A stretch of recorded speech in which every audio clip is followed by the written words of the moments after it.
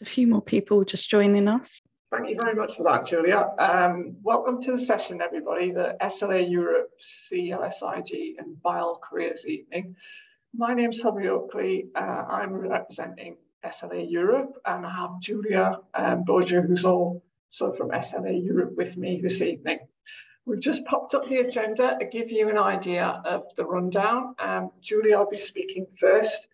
Um, then we've got Binny um, from Chatham House and Simon Burton and Tim Palmer, both from CB Resourcing.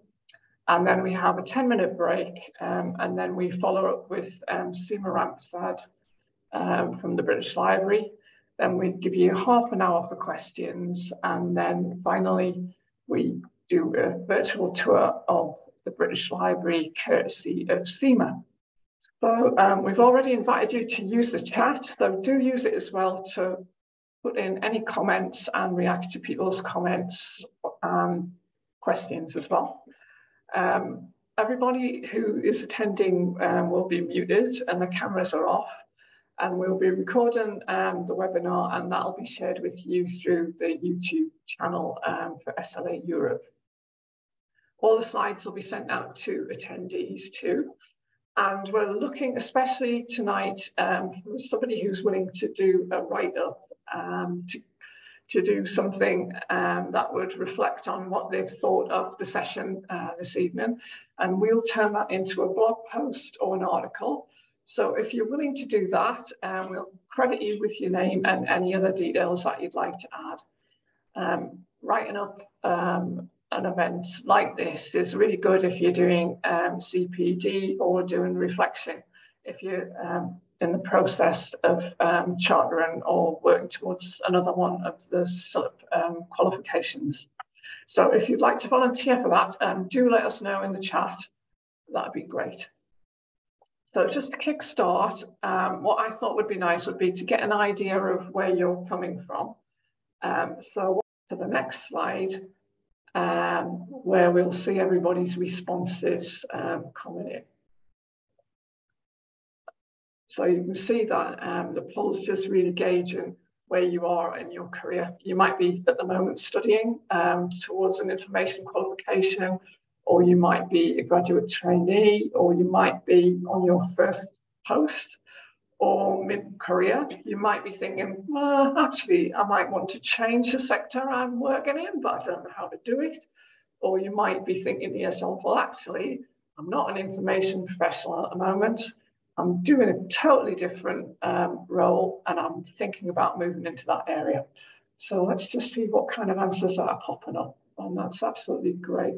So the biggest response we seem to be getting at the moment is 24% from mid-career people um, and then we've got, ooh, little jump there. That's now gone up to 22 for starting my information career. So that's 22 mid-career, 22 starting my information career.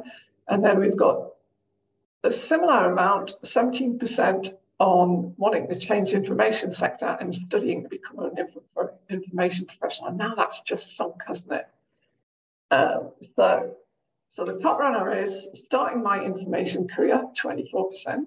And then we've got the studying to become an information professional and mid-career, both on the 19%. And then joint 14%, so we've got one in to change information sector and changing career. And then we've got 10% who are actually working as graduate trainees at the moment. Absolutely fascinating. And I hope this will give all our speakers a good idea of where you're all coming from.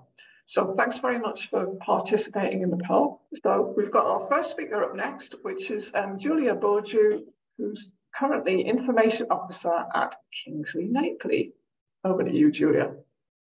Fab. So, um, welcome everyone um, to our careers evening. Um, as Hilary said, I'm going to be um, SLA Europe President next year. So, if you've got any questions, whether it's um, to do with my role um, as an information officer, or if you just want to learn more about SLA Europe, feel free to kind of ask me any questions tonight or offline through email if that's that's easier for you. So I want to start off um, with sort of a bit of background about me. So um, I'm of mixed race ethnicity. Um, I primarily grew up in, in North London, was sort of a working class um, neighborhood. And um, for my parents, you know, who didn't go to sort of college and uni, um, you know, kind of premise was do well academically, you'd be able to go to uni, get a good job, um, and the rest of it. But, you know, I wasn't really thinking about my career and what I wanted to do. I definitely didn't want to do uh, the jobs my parents were doing. Um, and I sort of fell into uh, two volunteer roles uh, before university. Um, the first was um, as a summer reading challenge ambassador at my local library. Um, and this was because I wanted to do something in my local community. Um, I wanted to um, encourage reading um, for, in primary school students as well. So, and it was sort of a really great way, um, A, to get out of the house, but B, just to sort of connect and kind of get some job experience. so it was sort of helping literacy rates, um, primarily because, you know, a lot of kind of cuts to public funding, um, kind of limited um, opportunities for young people. So it was sort of celebrating that. But um, it was sort of my first real insight um, into public libraries. Um, and then my second sort of role fell in towards um, when I was studying for my A levels. So I was um, studying history, government politics, and English. and as part of my history trip to the Wiener Holocaust Library, at the end of the tour, they said, We're looking for volunteers. Um, and this was sort of around the time um, that the library had moved to their new premises in Russell Square. So it was sort of part helping um, the library uh, market themselves, um, but also, you know, kind of bring back um, everyone to, to the new location, either for events, uh, book signings, or again, use their, um, their library, which is the picture here on the slide, uh, for research. So a lot of it is helping families trace uh, family members they've lost in the Holocaust or kind of um, genealogical research, um, again for PhD, um, for kind of any academic publications as well. So that was um, primarily kind of a historical library. It was great fun, um, especially going on the on the guided tour and showing everyone um, the kind of retrofitted archive, which was actually in the in the wine cellar. You, know, you can imagine um, with sort of temperature control, humidity control, uh, making sure that anything in their archive was was well preserved for that for that research. Um, university then came along. Um, I was fortunate enough to join the Sutton Trust uh, summer school program, which was sort of a week long um, taster course at Cambridge University. Um, I picked history, um, then realizing I didn't actually like to do a history undergraduate degree. Um, so I ended up picking English at Queen Mary, and that was sort of um, really fun um, at the time, thinking um, I would go into a career either in the civil service or in publishing. I definitely wasn't thinking um, about libraries or the information management or anything to do with um, that sort of world. But I fell into it. And I think a lot of the stories um, I've heard and I'm, I'm going to say um, were accidental. So um, that was another way that I got into working with um, SLA Europe. So I went to um, SLA Europe's first ever conference, which was held in Cambridge back in 2019. Um, and Seema Rampersad, who you'll hear from later this evening, actually said to me, hey, we're actually looking for uh, people to work on the Digicoms committee, and that was to help with social social media and kind of um, the website, which was was built on WordPress. Um, and she had seen my stuff through kind of Twitter and LinkedIn. She said, "Hey, you'd be great for the committee." So uh, that's how I got roped in. I, I might happen to some of you, but um, we are always looking for, for more volunteers. Um, and as I said, I will be president elect next year. So if you do want to learn more about how you can volunteer with us, um, yeah, feel free to, to reach out.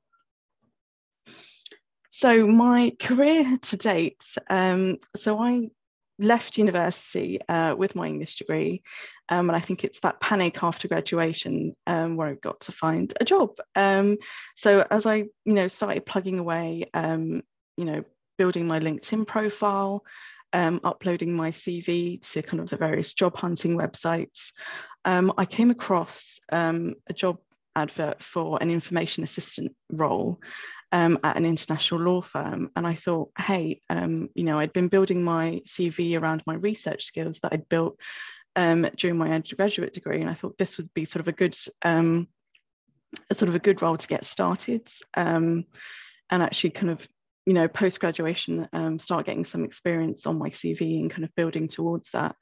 Um, I actually didn't think too much about law firms, um, mostly because you know, having the history and uh, government politics background, I thought that could help me, but I didn't have any kind of um, legal research training or anything of the sort. So when I did join, um, it was on a 12 month contract um, and it was a team of eight. So um, I was told, you know, six months training me and then six months I'd be training the next uh, information assistant. And kind of being at that international law firm, um, it was sort of a great mix between um, learning on the role, but also kind of sharing my knowledge as well.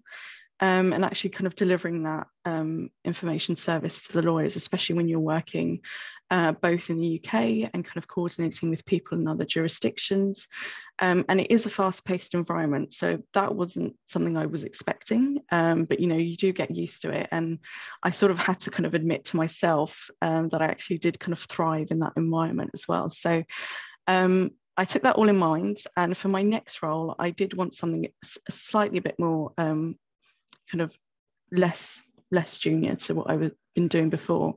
So my second role was as a knowledge analyst um, at a UK law firm. So it was primarily based in the UK, and I was in a team of two. So it was just myself um, and my manager. And I really kind of felt the difference coming having come from a big team of eight now to a team of two. Um, it was slightly different because I had more freedom in actually um, kind of tailoring our services um, and kind of taking the lead on um, research and inquiries. But I did have a lot of support from my manager, again, who said, you know, if you do want to go out there um, and network, and especially with professional associations like SLA Europe, like BIALL, um, within kind of the law firm context, um, I was free to do that. So that was always, you know, a bit of encouragement, a bit of support there.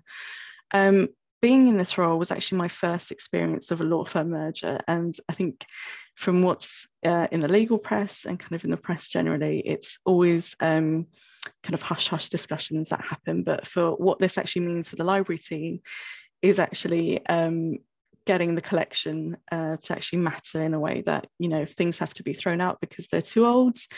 Um, you know, I've had experiences of throwing books into the skip um, or recycling them. Um, but for this role, it actually meant um, traveling to different offices in the UK. So again, um, not being London centric and actually traveling to kind of meet different lawyers, kind of expanding that relationship as well. So, um, you know, kind of both marketing, but also um, actually just sort of getting on with the day job as well to kind of promote the team. Um, during the pandemic, I decided I wanted to kind of pick up um, some new skills, uh, primarily with um, web design or digital kind of marketing design and coding. Um, and that sort of fell into kind of what I was doing with SLA Europe, kind of revamping the website. Um, but I was also wanted to kind of uh, give back because I could see a lot of charities were struggling um, with their kind of external website. So that was sort of a way in for me, again, to kind of put these new skills um, to the test. Um, after that, which, you know, I'm in my current role now, um, again, it's a UK law firm, but I'm an information officer. So this is sort of the next, um, I'd say the next level, um, you know, going from an information assistant to a knowledge analyst and now information officer. Um, and in this role, I'm primarily um, kind of the lead for current awareness. So it's a team of four um, I'm the kind of the junior member within this team, but I'm leading on the current awareness, um, and that sort of alerts and things. Uh, you know, either it's on legislation, on clients, um, any kind of developments in the law to the lawyers, and it's kind of kind of a real mix um, of kind of that and uh, and that legal research.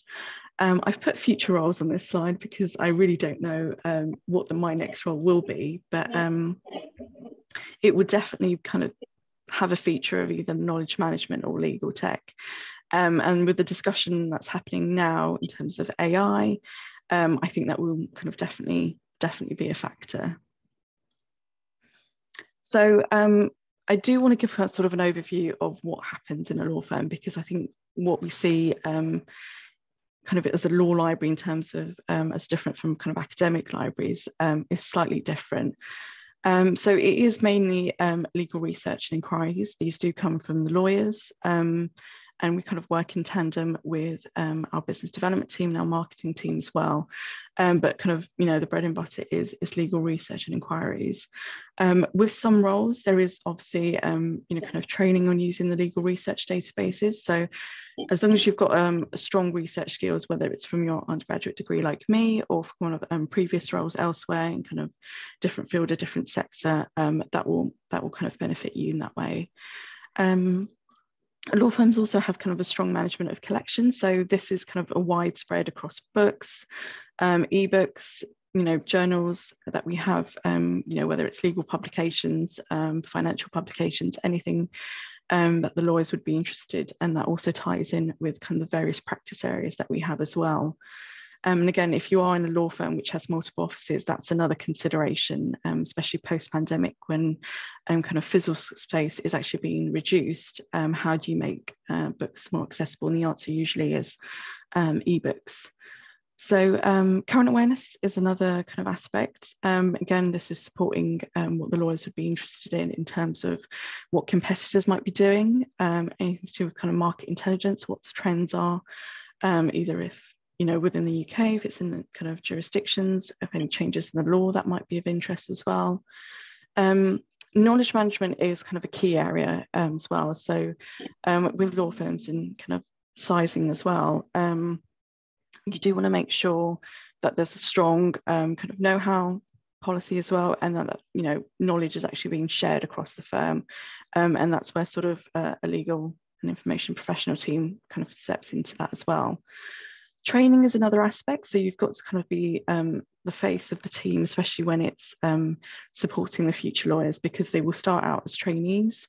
Um, at my firm, we kind of have um, an intake every September, kind of a new new set of trainees who come in, and then that's kind of steadily increased, um, kind of as years gone by. So usually it would start about for six, uh, but now it's come up to kind of 10, 12 um, trainees a year, and so I'm kind of supporting them. So we do a run through of kind of how to use the um, legal databases, but again, we have to kind of strengthen those skills that they've come from, whether it's um, just finishing their degree or, you know, starting an apprenticeship, or if they're still studying, how do we um, keep supporting them through our training sessions? Um, you're also kind of involved in a lot of projects with our support teams, um, whether it's kind of software, um, with IT, kind of new uh, kind of policies or processes that we've got to run through, uh, whether it's with marketing, uh, especially if it's kind of a new team that's joining the firm, how do we get those um, to kind of be successful both internally and externally? Um, we're also kind of guardians, I should say, um, in terms of kind of the firm's history and um, through kind of the archive collection. Um, and this is also kind of in addition to what we maintain as archives in terms of legal texts that we keep uh, for the lawyers and for their work. So again, it's kind of the firm's history, any kind of milestones we want to, to celebrate, because that's again, um, kind of sharing that internally and also celebrating as well. Um, professional development, this is something I've had um, quite successfully in previous roles, but supporting that. So um, again, making use of um, professional associations like BIALL, like CILIP, like SLA Europe to kind of see again what's happening with other law firms, just talking to um, other law librarians, but again, how we could also benefit um, as a team with um, whether it's tech or, or, processes that we can implement. So um, I just want to run through kind of similarities and differences. So with law firms, um, kind of the ratio to the information team and lawyers is often smaller um, in UK law firms compared to uh, US or kind of other bigger international law firms where there's probably a bigger team um, and these kind of spread across jurisdictions or kind of main offices um, within those countries that, that that law firm has a presence in. Um, the location, again, most law firms are London centric, but we are kind of seeing kind of growth in other UK cities. Um, and from personal experience as well, there's a lot more opportunities for making um, or even for asking for the role to be hybrid or even fully remote as well. Um, a big discussion at the moment is kind of users versus stakeholders. So we've got, as an information team, we've usually got um, different relationships um, across the firm, um, especially when we're trying to a sort out the budget for kind of any new purchases that we're trying to to make but also how we're responding so whether it's um, metrics that we're kind of um, creating within the team um, that we need to kind of report to, whether it's our efficiency that we need to report back on, uh, the level of inquiries, um, how we're even kind of supporting pitches within within marketing. It's all kind of adding to this kind of very fast-paced environment, um, and hopefully that that doesn't put you off, but it does mean um, there's a lot of different needs that need to be responded to um, across the firm as well. Um, you do need to put yourself out there in terms of kind of collaborating internally with other teams, um, kind of various areas of business that I've put there. It can be from anything. So um, kind of in a, as a difference to kind of academic uh, law libraries uh, where you would have um, kind of two or three members who would look after cataloguing or kind of other similar processes. Um, this is sort of either shared within the team, whereas, or you could have like a, a senior or a junior, um, someone who takes the lead on something, and then there's a junior as, as a backup there as well. Um, I've put budgets there as well. These are kind of often mapped to uh, the different practice areas. Um, and I've put there negotiation, um, negotiation skills are essential because you will be talking to um, various suppliers or vendors, um, kind of often, you know, looking for that deal, especially when you've got um, users within the firm kind of add up to um, a big bill at the end of the year, but making sure, you know, you do get whatever databases or journal subscriptions, whatever it could be, um, kind of, you know, settle for, for a price point there as well. Um, offices as well. So, you know, we are seeing less uh, physical space. Um, my firm have recently moved uh, to a new office building. We were previously um, we're kind of split between two two buildings, and now we are um, kind of a new custom and eco-friendly um, office space near Moorgate. Um, but we are kind of seeing less physical space, um, especially we're sending a lot more um, things to archive and kind of off-site storage. Um, current affairs, I think this is probably um, a similarity, but there, yeah, has to be an interest with what's going on uh, in Parliament, in politics, within the law, um, in business as well, because um, anything can affect, um, you know, the lawyer's work, especially if it's something happening in another country or jurisdiction which might have an impact um, on how it's seen here in the UK. Um, and as I said before, um, tech, AI and large language models, um, there's a lot of things that are happening um, to kind of again improve those efficiency processes. Um, but again, with communication and knowledge management, um, we're sort of seeing more ways to kind of support um, internal communication, and that's either through um, intranets, um, if you're kind of helping build build those, whether it's with coding skills or with, with content management as well.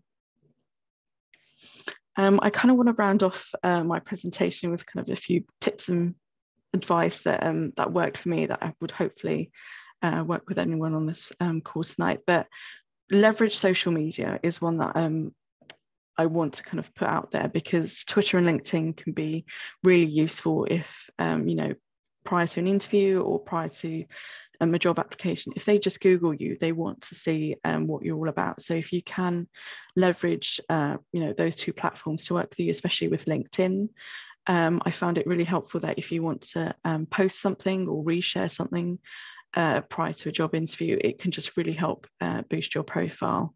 Um, or you can create an About Me page, um, and that's simply a one page website which has kind of all your information, um, just to kind of highlight, highlight yourself if you want to avoid um, social media. Um, pick and mix the associations you join. So BIALL is um, you know, specifically for law librarians, but, you know, with organizations like um, CILIP or SLA Europe, you get a wider spread um, and you get to speak to many different librarians and information professionals working in different sectors as well, and, you know, who have come from um, different countries. So you get to learn a lot more and you get to help build your own network. So those connections are really important if you want to, um, you know, learn about a job or role that you're applying for, or you want to see what's sort of out there, or again, you just want to learn um, what their day to day life is. So, um, you know, definitely go out there and build those connections and definitely use them um, to your advantage as well. Um, job hunting can be tricky, um, and I would definitely recommend building that support network around yourself. Um, I was quite fortunate that my um, university has sort of a graduate centre where you could go in and speak to advisors. Um, but if you don't have that, definitely build contacts um, around yourself, whether it's family members or friends. Um, if you want to have someone look over your CV or if you want to kind of run through a practice interview, um, make sure you have people there that can help you as well.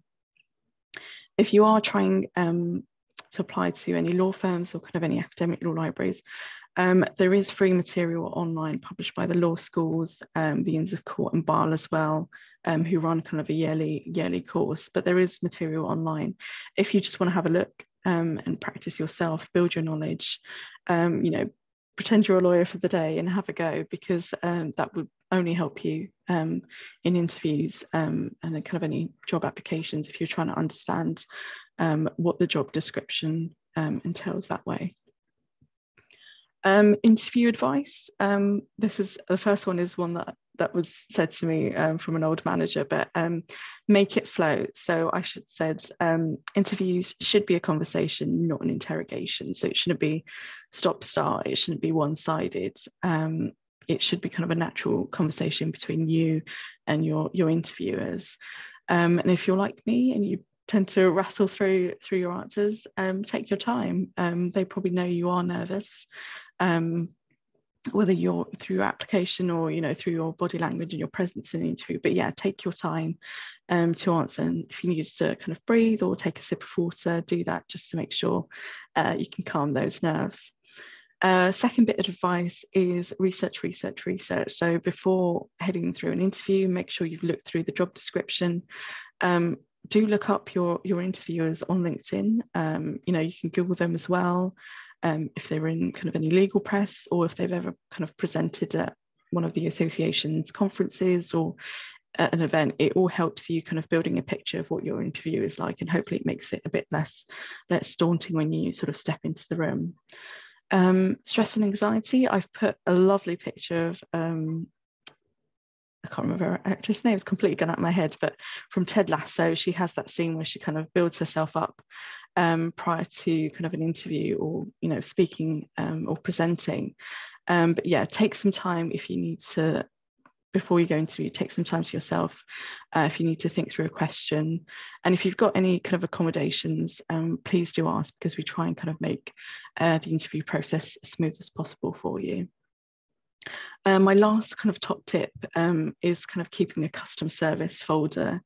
Um, and this is something I picked up from a, from a colleague who suggested it, but keep any bits of positive feedback, any thank yous, um, you know, you saved my life, um, or this was very last minute, thank you for putting this so quickly. Any bits of feedback um, you received, keep it in a nice folder for you to, to look through, um, especially when things are a bit stressed or, you know, things haven't gone wrong, just to, to keep that momentum going. Um, but also keep in the folder any kind of difficult situations where you've kind of really worked um, kind of the extra, extra mile to pull something through, because they're always good examples um, in an interview to use.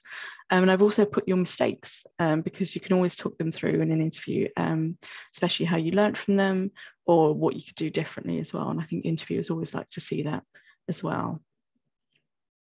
Um, and I'll just end my presentation there. Thank you so much for listening. Um, if you do want to connect with me, um, please do. Or if you've got any questions, um, please do go ahead as well. Um, I've put links um, to my slides to kind of the other associations I mentioned and kind of the other groups I'm part of. So if you do want to, to learn more, please, please do go ahead and share and connect. Thank you. Thank you very much for that, Julia. That was great. Um, now it's time to pass over to um, Binny Brinolf, who's the Digital Services Librarian at Chatham House. Thank you. Thank you very much. Uh, hopefully everybody can see my slides. So um, my name is Binny Brinolf. My pronouns are they, them, and I am the Digital Resources Librarian at Chatham House. And Chatham House is a Policy Institute in International Affairs that's based in London. So thank you so much for inviting me here today. And I'm going to be talking about my background and my career and how I ended up in a special library like Chatham House. Um, some of the things I'll say are going to be quite similar to Julia, so I will, I'll try to um, be brief in some of the things I'm going to say. But about my background, um, I've worked in libraries since 1996, so about 27 years now. It's gone by really fast. Um, I've worked in different kinds of libraries, public libraries, academic libraries, and now a special library. I am from the Wirral uh, near Liverpool in Merseyside, and it's where I now live again after many years away. I recently moved back here, so now I'm working remotely as my job is based in London. Um, outside of my day job, I am active in various ways with CILIP. Uh, I'm a CILIP trustee and I'm also on the committee for the CILIP LGBTQ plus network.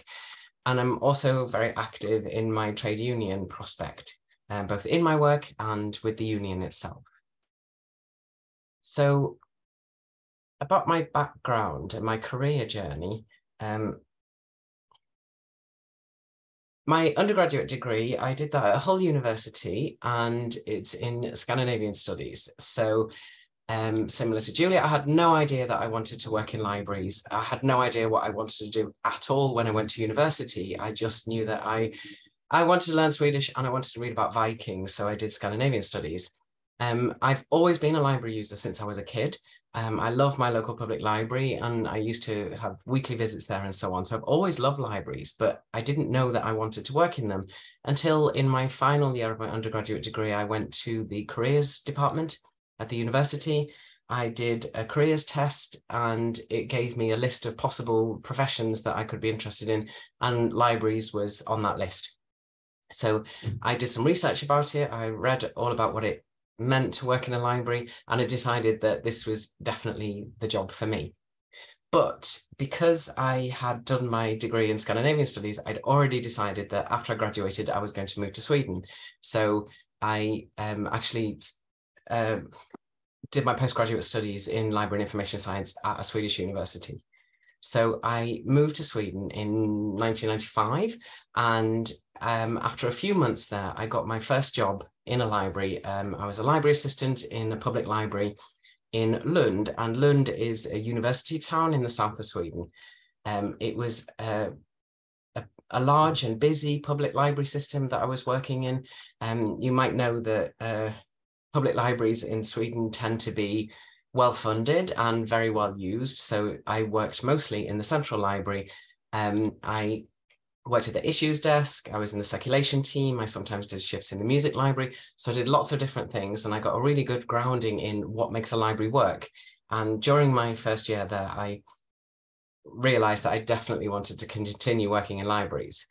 The um, university in Lund, Lund University, um, they've recently started doing uh, postgraduate degrees in library and information science. So I applied for that course and got in. So um, that's two years full time and they don't require any experience of libraries, but I found that my experience working as an assistant was really, really useful during the course. And um, while I was doing my postgraduate studies, I continued to work part-time in the public library, but also at a university library in the nearby city of Malmö. And actually, my very first professional position as a librarian was at Malmö University, and when I started there, I was very much a generalist. I had lots of shifts at the information desk. I did teaching, interlibrary loans, I did serials, I did circulation. I also did a lot of cataloging and I had extra training for that. Um, and I enjoyed all of those tasks. But uh, after I'd been there for a year or so, um, a position became available in the systems team at the university library. And having worked with the library management system quite a lot doing cataloging and interlibrary loans and so on, I knew that I was interested in this. So I got that uh, position and my responsibilities there as a systems librarian was looking after the library management system, um, the discovery system and any other systems that we had. And that involves um, support for colleagues, uh, training, error reporting, upgrades, and adding new functionality, updating search interfaces, all those kind of things. I was also involved in procurement of new systems with my team. Um, I also looked after the library's English web pages because uh, everyone in Sweden speaks really good English, but I am a native speaker of English, so I was entrusted with doing all of our, well, pretty much everything that we ever did in English with my job. Um, I also had shifts at the information desk here, which not all systems librarians do, but I find it really important. It's really useful for me to actually meet our users and see how they are interacting with our systems and see what's working and what isn't. and it is why I wanted to work in libraries so that I could um, work with people. So um, the information desk was really important for me. Um, and I also did some teaching as well. But then um, after about 12 years at Malmö University, and during that time, Malmö University had grown a lot. It was founded in 1998, so it was very new when I started working there. And we moved to from a small room to a bigger building and then to a very large purpose-built main library. So I saw a lot of changes during that time. But after 12 years, I decided I was ready for something else. And I'd also been in Sweden for about 16 years at that time. So I decided it was time to make a change. And I moved back to the UK, but I moved to London. So that was quite a culture shock after many years in Sweden. Um, and after a few months back in the UK, I got a job at another university library and I worked for two years at London South Bank University, um, which is um, near Elephant Castle in London. It is in many ways similar to Malmö University, um, I'd say with the student demographics, the kind of university it is, the subjects they do, and the size as well. I'd say both of the libraries had about 50 staff, and maybe we had about 25,000 students. It was quite similar um, and the job was very similar as well. I was a systems librarian again. We had the exact same library management system and discovery layer, but there were a lot of differences. Um, and I think the differences are between the way higher education is done in the UK compared to Sweden. But I've only worked in one university library in each country, so take the take it with a pinch of salt what I'm going to say. Um, I think in the UK, the library systems are more hierarchical. For example, I have had a grade at that university and um, there's no grades in Sweden. You just you just have a job. Um, um, routines are more strict I found in the UK library and people are very much in their departments. Whereas in Sweden it was more flexible. There was a very flat structure. We had a lot of cross departmental teams um, but that meant that some tasks fell by the wayside. And I'm not saying that one is better than the other because I enjoyed working in both kinds of libraries, but there are there are a few differences. Um, when I've been at uh, two years at um, London South Bank University, I got my job at Chatham House. So some of you may have heard of Chatham House. Um, it is also known as the Royal Institute of International Affairs. It was founded in 1920, so we recently had our centenary, and it is located at Chatham House in St James's Square. So it's it's known as Chatham House as well as the Institute of International Affairs because it is in Chatham House. Um, and the mission of Chatham House is to make the world a better place. Um, so that's done by analysing and promoting the understanding of international issues and current affairs. Um, so a lot of research is done, a lot of information is produced that can go out to policymakers, politicians, diplomats, and so on, but also to the general public to help keep us more informed. Um, Chatham House is perhaps most famous for the rule. Um, and the first thing to say about the Chatham House rule is there is only one, and this is the Chatham House rule. So if you're in a meeting, it means that you can share the information that you hear in that meeting, but you can't reveal who said it. So it protects people in the meeting, it protects people who are speaking up. And in Chatham House's history, that means it's protected dissidents and um, opposition politicians and so on. People can be free to speak up without repercussions. Um, the rule can be used anywhere, not just, just at Chatham House, and it is used around the world um, for any kind of events where sensitive issues are being discussed. And it can help bring people together um, to generate ideas and to agree solutions to problems and to conflicts. Um, it's not used at Chatham House very much anymore. Most events these days are on the record, a few are off the record, but it's still a very useful rule. It has some implications for some of the archive material that we have um, and how who can access it and um, what we can say about it. But um, it's just something that we've always had. Okay, and um, so that's about Chatham House. Now, the library itself is an integral part of the Institute. Um, so I've been there since 2014 now. Um, we are a small team, there's just three of us there, and um, we are very involved in the work of the Institute. As I said, a lot of research is produced and we support that. So we have books and journals and online resources and other kinds of materials it's a relatively small but a very specialized collection um, covering international relations and related subjects. We also have um, all Chatham House publications from 1920 onwards, and that could be reports and briefing papers, um, increasingly in online format these days. And we also have a large archive, as I mentioned, which is a lot of material that's unique to Chatham House, and it really is the history of the Institute. Some sections of the archives have been digitized, but a lot hasn't, and we are um, we need funding for that kind of thing. But we'd very much like to digitize the rest of the archive for preservation and for access. Um, as I said, there's three of us in the team, but we're librarians, we're not archivists, so we are learning as we go and we're being very, very careful with the materials. Um, and something else that we work with that I haven't done before is um, records management and knowledge management. Um, our library management system is Soutron and it is very flexible. It can be used for archives as well as for records and knowledge management. And um, for example, you can I can create any kinds of records and fields. We don't use MARC. It's very flexible in that way. Um, we can upload documents to it as well. So it works as a repository. Um, so I've been working with teams across the Institute to fulfill their information needs. So it's something I've, uh, these kind of areas of things I hadn't worked in before I started at Chatham House, but I'm learning a lot as I go. Um, Chatham House Library is, as a special library, it's quite different from places I've worked before in the larger public and academic libraries, um, but there's also a lot of similarities. As I said, there's three of us in the team, um, but there's about 220 staff at the moment, and we're all together at one site. So it's a lot smaller than other places I've worked before. Um, and things like knowledge and knowledge management and um, records management is new to me, as I said. Um, my role is broader. I'm I am a systems librarian still, but my title is digital resources librarian. I look after journals, online resources, how to access them. I look after the library's web presence. I do teaching and all kinds of other tasks, any things that come along. Okay. Our users are also a bit different. Um, staff have high level needs for information and they usually want it right away. So we are getting hold of articles and things like that a lot. Um, we have a lot of members as well. It isn't just staff that use the library, but Chatham House members. There's about 6,000 of them. Not all of them use the library, but there's all different kinds of people who are members of Chatham House. So it could be people who just want to come and sit in the library and read a magazine, or it could be students or researchers or journalists who need to borrow books or do some research online. We have one-off researchers who want to consult the archives, for example. A lot of our members want to access online resources, but they're experience of that varies a lot. So I help them help them access our resources basically and help them search them.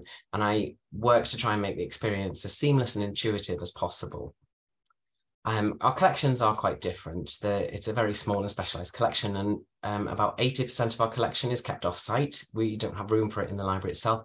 The 20% that's in the building is the most recent materials that we have. Um, and we also have a bespoke classification system and bespoke subject headings because it's a very niche collection. If we use something like Dewey, um, probably most things would be on the same shelf, so that's not that useful for us. So there's a lot of upkeep with both of those systems. I mean, the kind of services we have, we have the usual services you'd find in a library, but our capacity can be limited because we are a small team doing a lot of things. So um, we don't do literature searches for researchers. Um, we do do training, but it's not regular, it's as needed. Um, we do interlibrary loan, but we don't advertise it widely to our members, for example.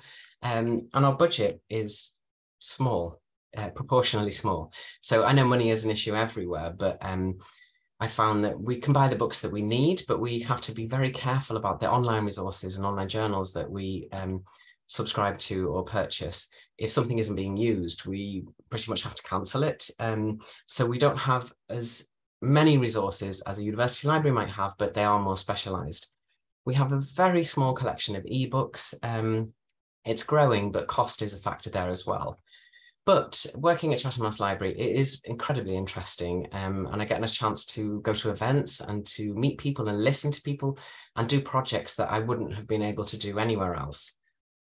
Um, so I'm going to talk a little bit about being a systems librarian, how to become a systems librarian. Um, and I think I, it's fair to say I am an accidental systems librarian. There's even a book called Accidental Systems Librarian because there's so many of us that fell into it in the way that I also fell into being a librarian.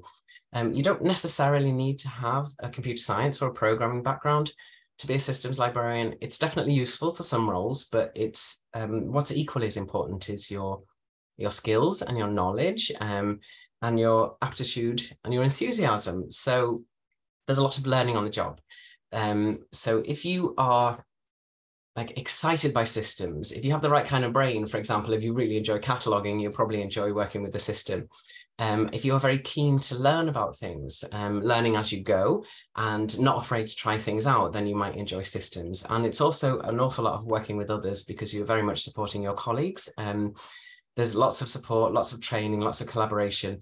Um, I really enjoy working as a systems librarian and I have learnt most of my skills on the job and sometimes I've done courses outside of work or sometimes during work. Um, but I also, I join user groups, um, I go to uh, systems forums, I go to conferences when, when I can, um, and I learn a lot that way as well. Um, and there is an awful lot of working with others and collaborating with other teams, especially at Chatham House. And about um, becoming a special librarian and working in special libraries, um, subject knowledge isn't always necessary to work in a special library. Um, I don't have a background in international relations. I don't think my degree in Scandinavian studies really counts, um, but I was recruited to Chatham House for my skills and my knowledge as assistant librarian, because that's what they needed at the time. Obviously, I've learned a lot working there, but it wasn't necessary for that role in particular. And I find that can be true for a lot of the support roles at the Institute. So it's more about your library knowledge and information skills. Um, and it's very likely to be small teams, which means your roles will be a lot broader. Um, if you are coming from a larger academic library, for example, you'll find that it, our libraries, special libraries can be very, very small. You might even be a solo librarian, which is something to consider.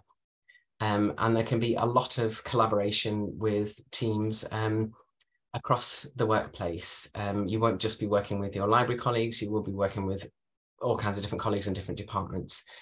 Um, I found a lot, um, I, it's been really useful for me being involved in organizations and networks such as SLA Europe, um, also CILIP. it's good to get involved in committees in both of those, for example.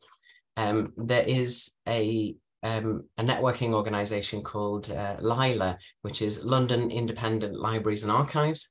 Um, and that is made up of people who work in various special libraries um, around London. It could be law libraries, it could be special libraries like um, Chatham House, um, but it could also be things like club libraries where you just have a solo librarian looking after archives, artworks, and a library all by themselves. And organizations like that are really, really useful so you don't feel as isolated as you might otherwise.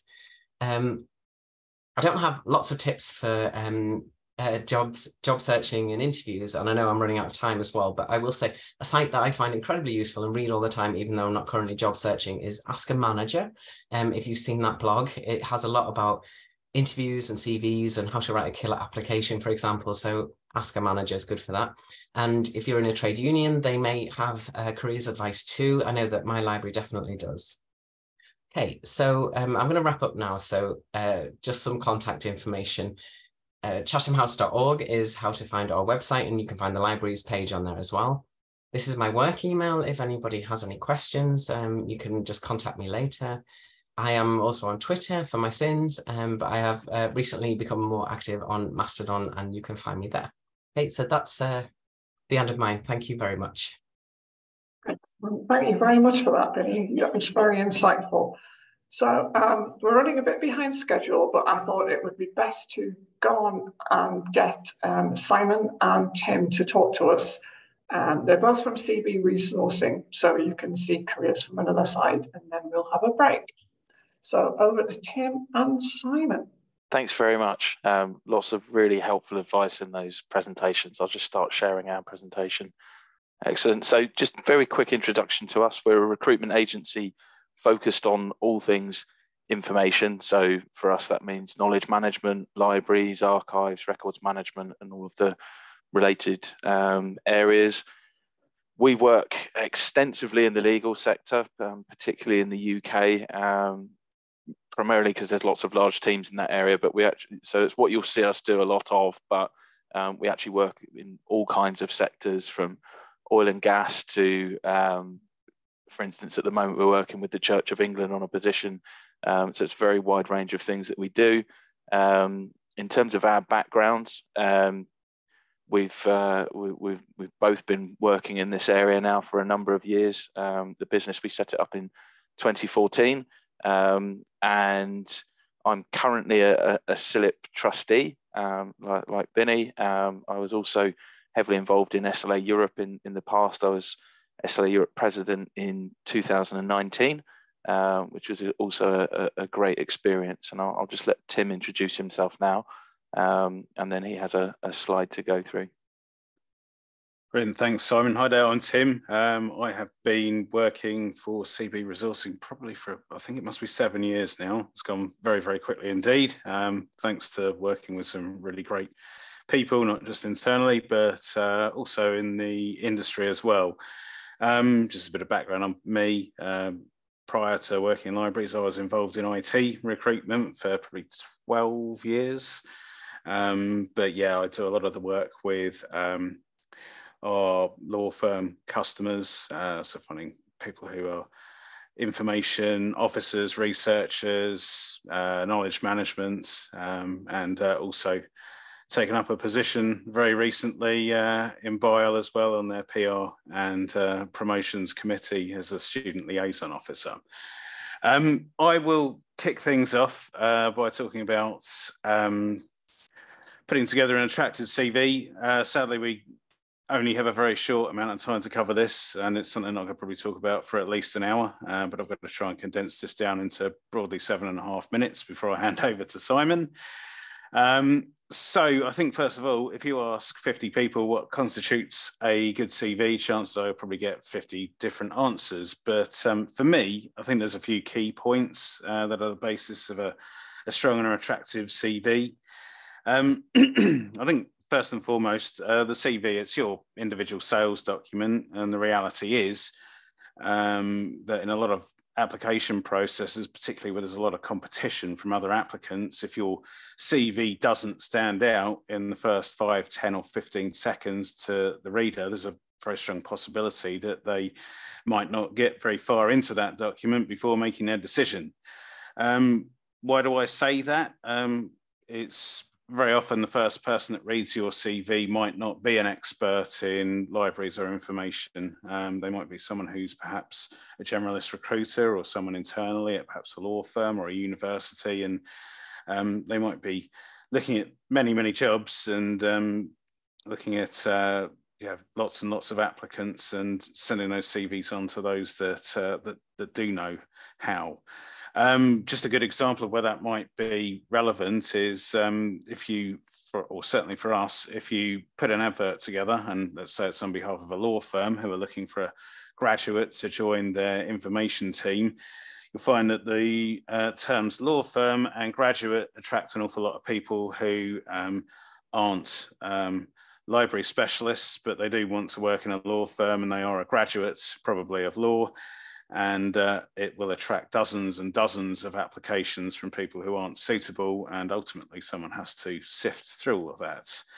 Um, that leads me on to uh, the next point, which is um, impact. Um, from my perspective, and having done a, a looked at probably, I guess, nearly a million CVs in my lifetime, um, I don't think it matters uh, how long your CV is, whether it's one page or 50 pages. Um, I think for me, the bit that really counts is the first two thirds of the first page, um, or essentially uh, part of the CV that you can see on a laptop or a PC screen um, when you open a Word document. Um, I say that because when you send your CV to a large or complex organization, the probability is that the first person that reads that will probably be a generalist internal recruiter. They'll be working on multiple different roles, probably not understand the nuances of our industry, let alone library or information work. Um, some of them will possibly even um, skip looking at CVs altogether and just get all the CVs and do a keyword search in their database.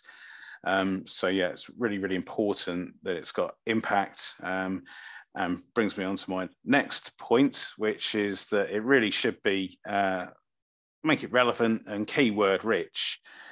Um, I use this as, as an example, um, really for, let's say someone who's um, studied a master's degree in um, library and information studies and they want to work in a law firm and they've applied to a job um, if their CV opens with something along the lines of that, uh, with a profile that says that they are ambitious, they're able to work in a team, um, they can also work alone, uh, they have a good sense of humour, um, and then ultimately they put their qualification at the very bottom of their CV. Well, the person who's reading that in the first sort of five to 10 seconds, they're thinking, where's the relevance? So it's really already fighting a, an uphill battle. Um, but if you open your CV, um, again, same position, and you open it with something along the lines of that you're a graduate with a master's degree in library and information science, you're seeking to pursue a career uh, in either knowledge management or information services function within a law firm, um, that you've got great customer facing skills, the ability to learn quickly, and you enjoy the challenge of research, well, you'll probably have the person's um, attention pretty quickly. Um, just how do you make it key, uh, well, keyword and key phrase rich? Um, I think really good advice is to start looking at the sorts of um, roles that you want to apply for and those sorts of job specs, familiarize yourself with the common terminology and phrases that are in those documents. Um, and yeah, I think if you can start um, applying those uh, into your CV, um, it's going to be extremely useful. And you can do that in all sorts of different places in your CV. So that could be in the profile section that you open with. With your education, you might include the modules uh, and also in your work history.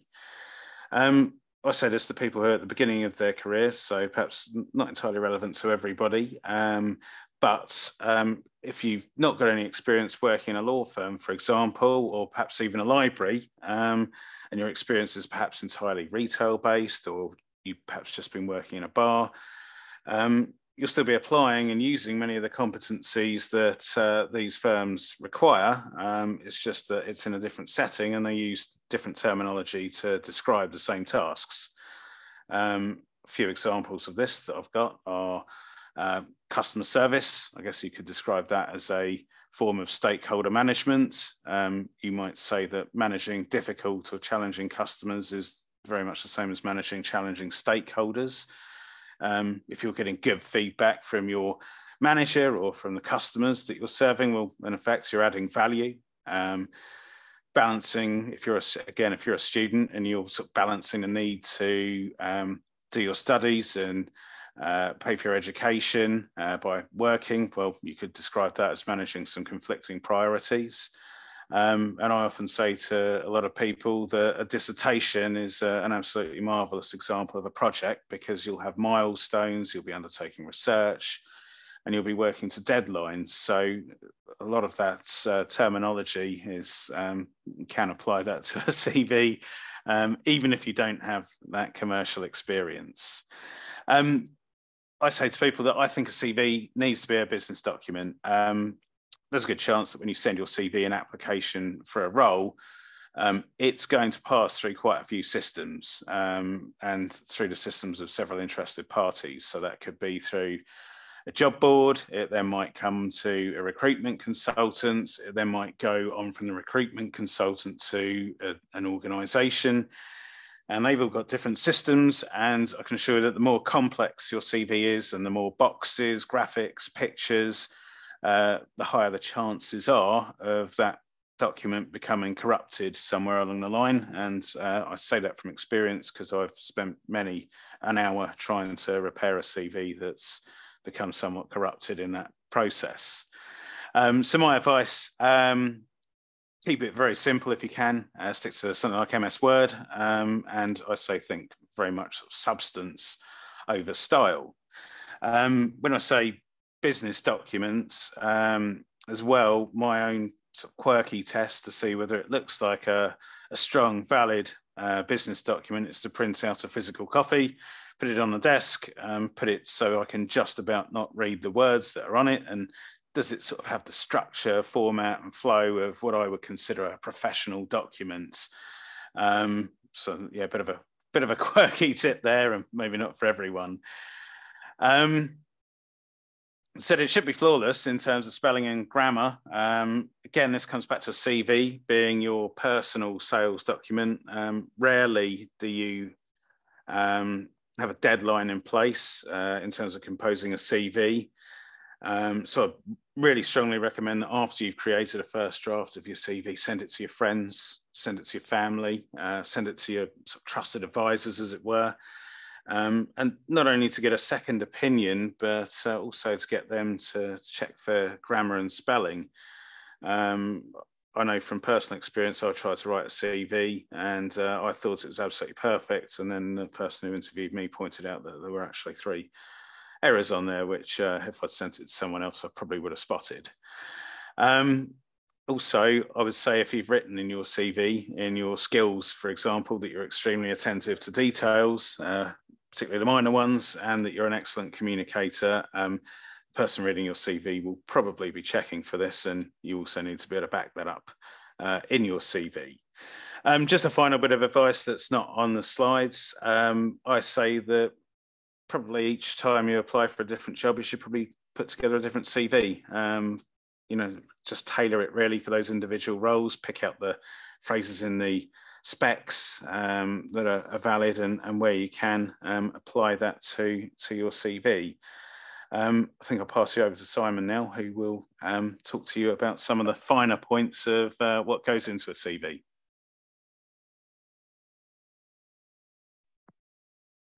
Great, thank you, Tim. That's uh, that was really helpful. Um, some really good tips there. Ah, there we go. Um, good. So just thinking about the the, the structure of a CV. Um, so um, and and and this goes for for LinkedIn profiles and, and other social media as well. Um, particularly LinkedIn um, is something that employers very often use to to to check you out and and it's a really useful platform for you to check them out as well as as uh, one of the earlier speakers alluded to. Um, you know it's really really helpful to see um, who you're meeting what their sort of background was how long they've been in a business. Um, but for you as well I, I, highly recommend if you're not on linkedin check it out. It's not necessarily for everyone um, but it is a great platform to to network and and and stay up to date with what's going on in your industry um, so put together a profile. So, um, you know, as Tim said, it's really important to use that as a platform to get someone's attention. Um, you know, try and stay away from the sort of generic stuff that, um, you know, is, is, is very sort of uh, focused on um, what we would call self-assessment. Um, so, you know, I'm a really great um, you know, team team player. Um, try and give evidence of that. So, you know, I've I've, I've built really good team um, team working skills within my work at you know X company or or, or a particular thing that you've been doing. Um, when it comes to education, um, you know, I think Tim touched on uh, several points on this, uh, which is really helpful. Um, and uh, you know, draw on some of the content of those courses that you've you've worked on that are relevant to the job that you're applying to. So if you've done particular modules that are relevant, um, list those. Um, you know all those achievements and any activities you've got up to around that whilst you're in your education. Um, you know it's really really helpful to include that in your CV um, and help it tell the story, particularly where it attaches to um, the theme of the job that you're applying to. Um, so um, you know that's that's really important. And as Tim was talking about, um, you know, it's really about showing your intent to work in the area that you're applying to. So um, you know, as he said, you very often get lots and lots of people see the keywords in a job advert and apply. Um, and they might not actually be interested in in working in this area, but they think, great, a law firm that's looking for a graduate and haven't necessarily read any further. And that's what an HR team are dealing with. So they, they you, you really have to make it obvious that um, you know you're committed to and are really interested in a career in this this space. And even if you haven't got the education yet and you haven't done the course yet, you know, get it in your profile and make it really, really obvious that, that this is what you want to do and you're interested in it. Um, when it comes to work history, um, there's you know I, I, think Tim hit on a few points that are really really helpful. Um, we've actually done um, a couple of different research reports uh, with hiring managers in the sector. We did one with um, hiring managers within academia, and I think we had about 70 managers reply. And we did one with um, the legal sector with Um, it was a similar number. I think it was about 80 hiring managers across the UK. So a, quite a large sample actually on, on, on both counts. And it was really interesting when we looked at priorities for hiring. Um, the number one thing that came back in both of those um, research reports was customer service orientation. And even if you don't have relevant um, work experience to working in the sector yet, um, you know, so important to get that um, other experience that you might have that's relevant on there because it will be seen as valuable, particularly if you're presenting it in, in articulating it in that in that way and talking about your customer service experience. So if you've worked in a hotel or you've worked in, you know, um, uh, a retail environment, um, or even if you've volunteered, you know, volunteer at a, at a local library, volunteer, you know, with charities or anything like that, you're dealing with, um, you know, lots of different sorts of people, um, and and and that's incredibly valuable. Um, again, you know, this sector we're so lucky with all of the networks and um, and professional bodies that we have. Um, they are a really great platform for you to build your skills and experience. So, um, you know, most of them will have digicoms, digital communications committees.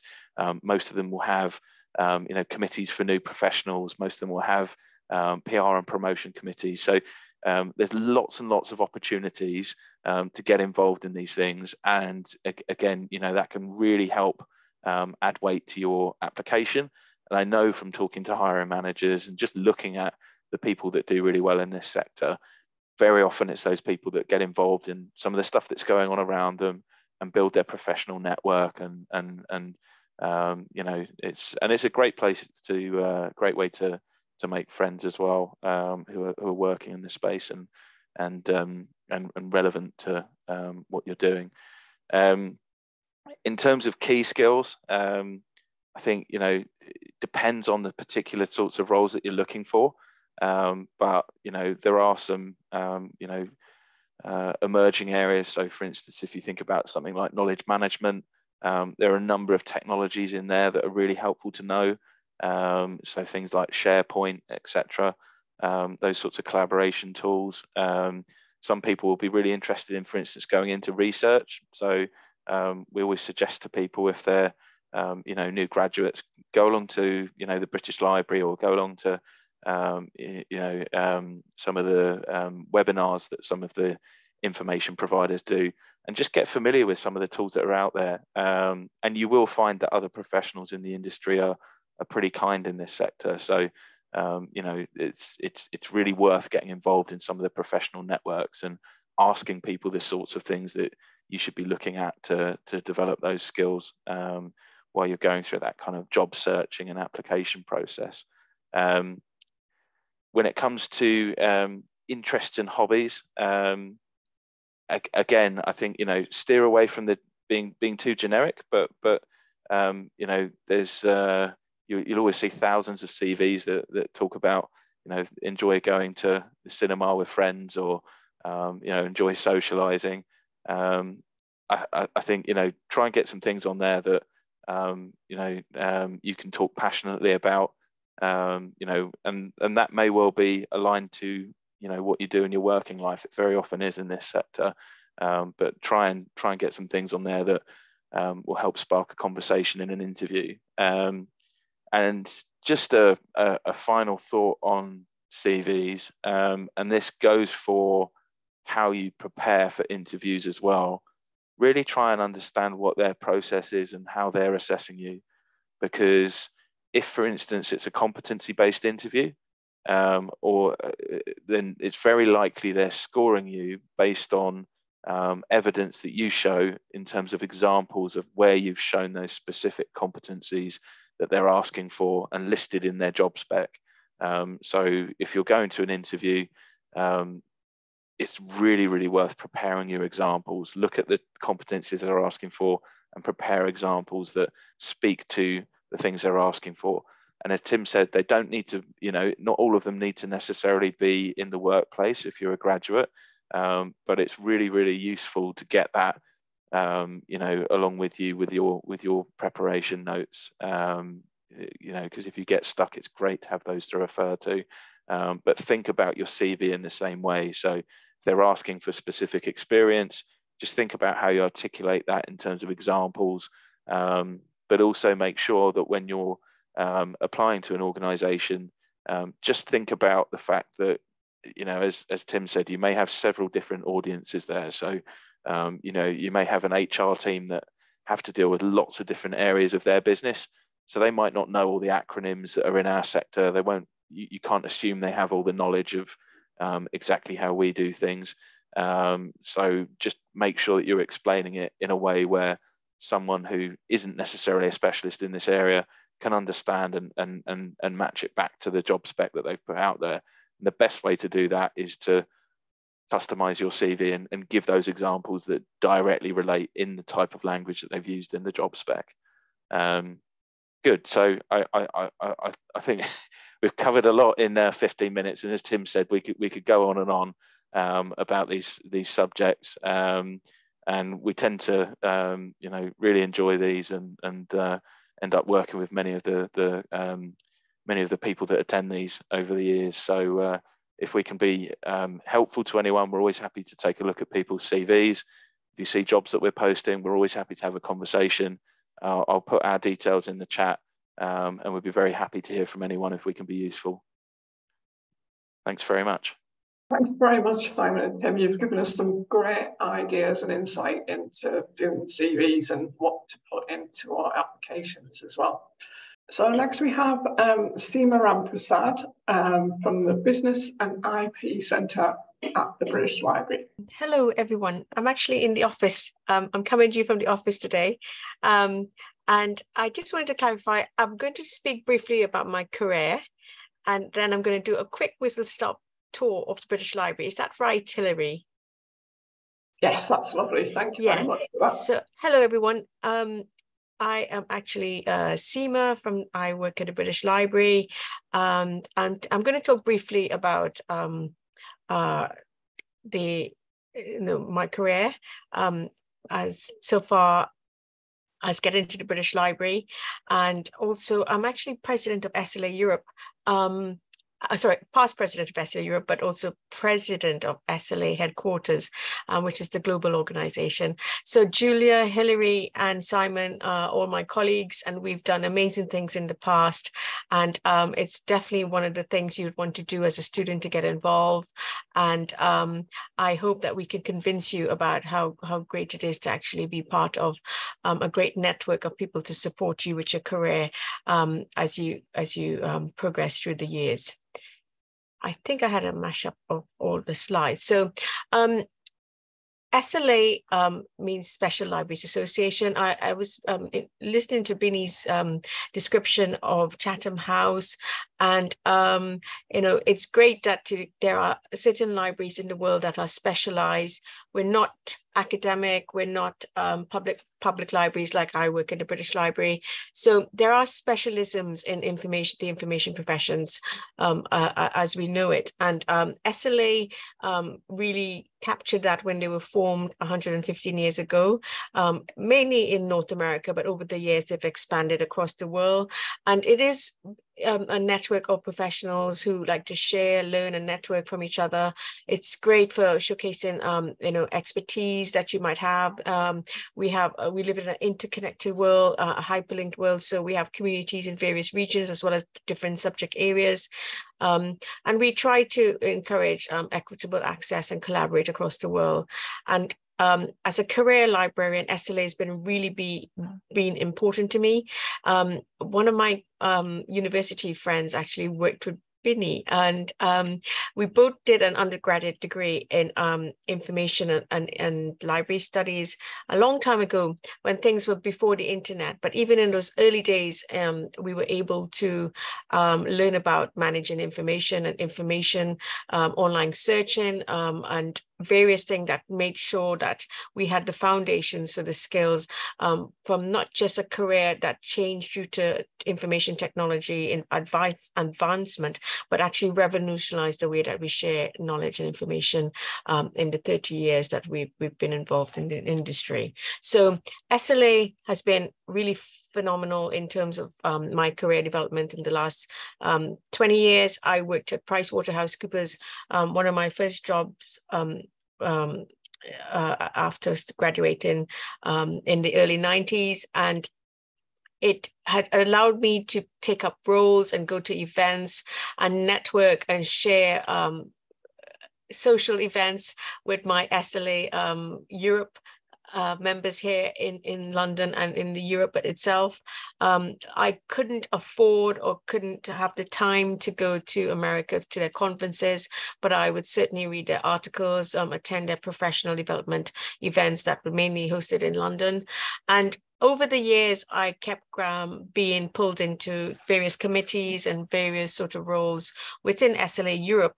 Um, and I was able to um, gradually progress my career to SLA president. I didn't nominate myself as SLA president, but I'm quite passionate about voluntary um, work as well as keeping up on professional skills. And um, I was able to develop my career uh, with SLA. So these are some recent photos with SLA. Um, it's very much a, a, global organization. It used to be very bigger. It used to have like 10,000 members um, up to about 10 years ago. But the the industry has changed a bit and people are getting some professional development events such as this one which are freely available without paying a cost um, to attend. So we also have um, obviously dedicated members who who really need to be SLA members and um, actively involved in their committees and their specialisms and for developing the career. But it has been great for me. The picture on the right hand top was a leadership symposium I went to in New Orleans, which sort of really helped me to learn sort of a, a lot of things about diversity and inclusion in terms of incorporating that in the profession, but also in my day job. Um, I went to Dublin and we we have members members there. I went to India this year where I was able to meet with um, IFLA. President Barbara Lison is actually in the photo with me and our um, SLA Asia community. And I also went to the SLA conference. And it's only my second conference with SLA because I couldn't afford to go um, i used to use my money to go on family holidays and not go to sla and sometimes it's hard when your work environment don't support you. But we have been great um, as SLA Europe to support new professionals to go to conference. We've had about 30 early career awards um, given to young professionals who went to SLA. Um, they're probably heading towards their 30s or 40s in terms of their career since graduating um, because the early careers no longer looks at it in terms of um, how soon after you're graduating, but we look after um, how long you've been in the profession. So they, they have been phenomenal in terms of giving people opportunity to go to America and network and, and, and open a whole network of people in the globe um, at conference. So the conference did happen this year. It happened the year before as well. We're not sure how big um, there's going to be one next year. It might be smaller and more intimate. It might be in a university in the US. But if you want to get involved, if you want to see those opportunities, if they come along, if you want, um, you know, endorsement in terms of getting involved with us, we do encourage um, students and new professionals to get involved. We 15% of our membership is actually students. I hosted a student event in the beginning of January, and there were 55 students who came on live. I think we also have recording, so it was also shared with um, university um, uh, uh in North America mainly um, to to come along to SLA events and to become active members of SLA at a very early stage in your career. So obviously, most of our members are full time people working in jobs, very varied from NASA to, um, I know yesterday I hosted an event with SLA uh, Canada Parliament to uh, Asia, um, to the Philippines, uh, Europe, we're, we're actively involved. This is one of our events. Um, so it's a great opportunity to start your career um, in a geographical region, but with an international remit. Obviously, we have um, uh, collaborations with BIALL and CILIP here in London, but and we tend to focus uh, in mainly in the UK, and we hope to expand more in Europe. Yesterday we had an SLA Europe meeting, and we hope to target our, our near, nearer neighbours here in um, Europe, but generally, um, SLA is mainly North America, then Canada. We're the third biggest, and then um, Asia is very, very active in geographical regions. We have a great um, uh, specialism such as business and finance community um, with SLA. We do leadership and management at the conference in Detroit. Um, our specialisms in leadership and management development is really apparent. We had the Medical Libraries Association actually coming into our areas and attending our events because they don't tend to do leadership and management as good as SLA. So, um, you know, SLA still has a great specialism in all of some of these areas. They have pharma, health, technology community. They have military libraries community. Um, they look at knowledge management. They have a data community. Um, so lots of data centric jobs were, um, uh, were, uh, know, job titles. Are people actually involved in um, SLA, and this is probably a growth area for us. And also at the SLA um, MLA conference in Detroit, there were lots of data focused events. So we do have lots of volunteers. So we encourage you to get involved at an early stage in your career. Um, you know, do do do do do um, get in touch with Simon, um, Julia, um, Hilary and myself, and we can also um, see and meet you and show you around and give you any tips that you might need to build your career. Um, I just said in the chat that I quite like um, being on the cusp of um, technology. So uh, SLA was one of the first virtual associations to actually do online events. I've done hundreds of um, talks and events for SLA over the years, and um, it actually really does help you to think about us uh, in a digital world. Things like such as uh, using virtual reality, um, Fab Labs, all of those sort of techie um, aspects of um, how the career is developing. It's really great um, experience that I've gotten over the years with SLA. We have a learning hub, all our events go into our learning hub. So we have content that stays on there for a while and you can have access to it. We are going through a strategic plan change. We have a new management company that's coming on board, and we're proactively working to help people learn, connect, and advance their careers. We leverage, leverage the network of the of, of um, SLA, which is very diverse and very broad. So some of the things we work on is like diversity. Um, you know, we keep it, you know, we keep track of um, all of those underprivileged in society and invite them to come along to our events. We offer free places. Um, so it's a big part of what we do. We've been one of the forerunners of LBGT plus um, events as well as um, policy stance. Um, I recently did some climate change events with our workplace preparedness committees and we actually are quite low paid for student membership, only um, US dollars, um, 10 US dollars to be a member if you want to be a member. And I think we're offering some bursaries today. So do get involved. There's multiple ways that we try to be inclusive. And um, we're actually going through a lot of change now, um, going into the new uh, new financial year, which is 1st of July, with um, some American management company called AH, which are helping us to target some of the, the gaps that we miss in on um, in our strategy as well as in our membership and to regain some of the people that we lost in recent years because of COVID. So that's SLA. I am SLA president, which is a, a lifetime achievement for me. But I started um, obviously my life in Trinidad and Tobago. Um, I grew up in a loving home. I went to a girls' school. I actually came to study information and communication here not intentionally. So I actually uh, defaulted by become become becoming a librarian when I graduated, and um, I have always been involved in sort of community related stuff regarding um, information. So my first job, as I said, was PwC, which was at the time using databases and CD-ROM, but it was a global community, and it really helped me to actually be able to withstand some of the things that I go through with SLA being a global organization. Um, they they still do great things at, at uh, PwC. I then went on to to work at the Greater London Authority, which was um, you might know as City Hall in London. Again, we had a holistic approach to information. We had a little bit like Binny, like we had you know, international aspects, but also political current awareness. We had a specialist collection.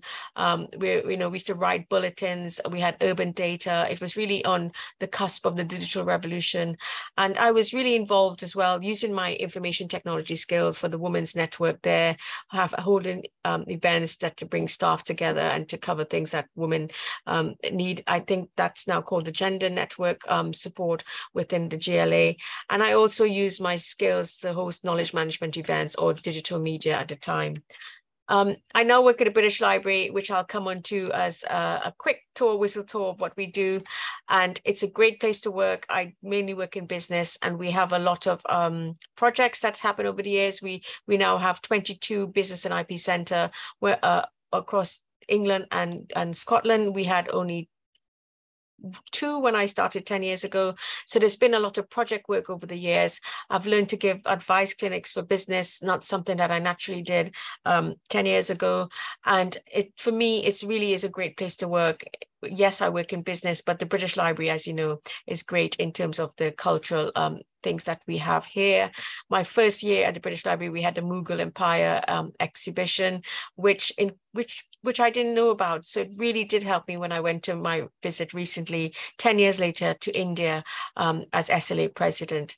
And um, I do belong to SLA. I don't think I'll ever stop being an SLA member. I'll be one of those retirees who remain an SLA member because it's been so great for my career in terms of volunteering experience and learning about technology, being on committees.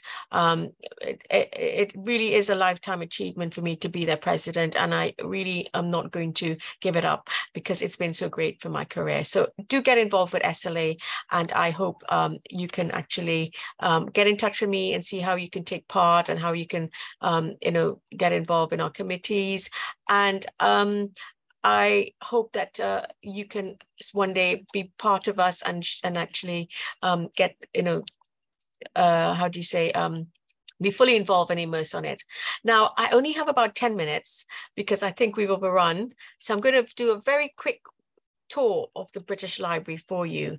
Um, I understand that you know this is virtual, but I'm happy to host people in person um, when when if you get in touch with us and you you know maybe in autumn you can say we can organize a virtual uh, uh in-person tour. Um, but this obviously is for um, it, virtual because we understand that people were actually in the regions and not necessarily based in London today.